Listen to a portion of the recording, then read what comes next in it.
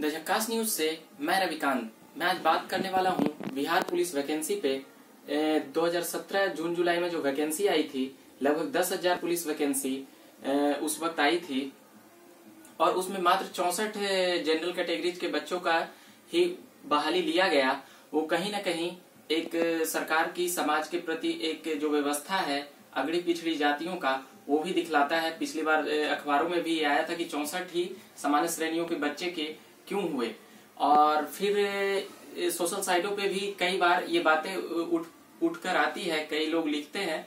और इस बार कांग्रेस के एक विधायक ने जिस प्रकार से विधान परिषद में प्रेमचंद मिश्रा ने यह सवाल उठाया मुखर होकर पुरजोर तरीके से सरकार की तरफ़ से जवाब आया कि हमें आंकड़ा चाहिए या ये या, या ये वो करके सरकार की तरफ़ से भी गोल गोलमोल जवाब दिया जाने लगा।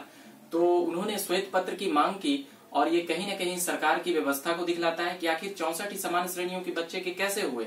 उसमें भी उनसठ महिलाओं का हुआ और पाँच केवल पुरुषों का हुआ। निन्यानवे सौ सिपाही बहाली में ये कहीं न कहीं एक प्रकार से चौसठ जो ये बताया जा रहा है आंकड़ा, अगर ये सही है तो समाज में कहीं न कहीं एक प्रकार से एक त्रुटिपूर्ण व्यवस्था को जन्म दिया जा रहा है और इस प्रकार से ये सरकार की नियत, गलत मनोदशा और नियत को भी दिखलाता है कि सरकार समाज के सभी वर्गों को साथ लेकर चलने में सक्षम नहीं है। जात पात और बढ़ता है। जात पात में जिस प्रकार से समाज में आपसी मतभेद हो जा रहे हैं तो यही बातें कहना चाहते थे कि लगभग दस हज़ार सिपाही वैकेंसी में चौसठ जनरल के बच्चों का हुआ।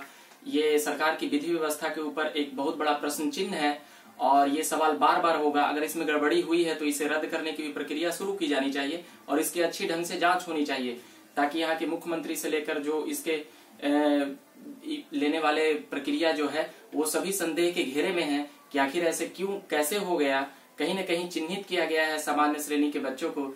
ये सवाल अगर उठा है तो और उचित तरीके से उठना चाहिए और अभी और उठेगा तो ये कई इसमें राजदार लोग छिपे निकलेंगे। अभी के लिए फ़िलहाल इतना ही। द जकास न्यूज़ से मैं रविकांत धन्यवाद। चैनल को सब्सक्राइब करें।